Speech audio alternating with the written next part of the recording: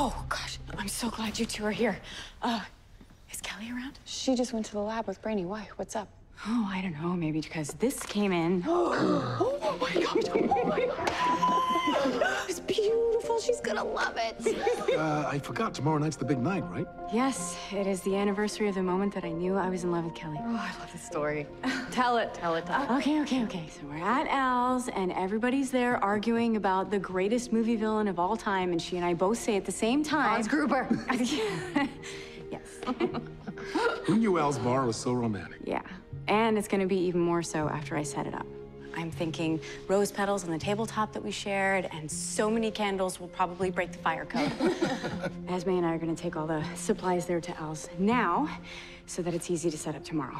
But um, listen, it's I won't be gone long, so I can be back to help with Nyxly. Oh, go. We will let you know when we're ready. Just go. Get out of here. Okay, Go, go, go. okay, We'll call you when we got our trap ready for Nyxly.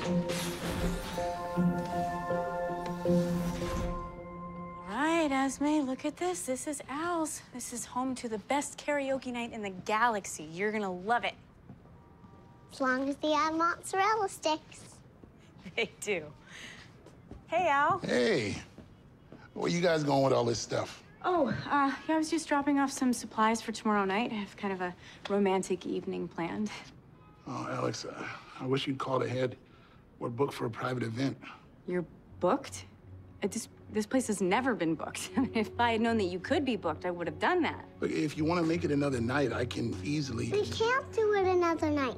Has to be the night Alex realized Kelly was the love of her life. Don't you believe in love, Al? Wow. I'm really sorry, guys. I can't do it.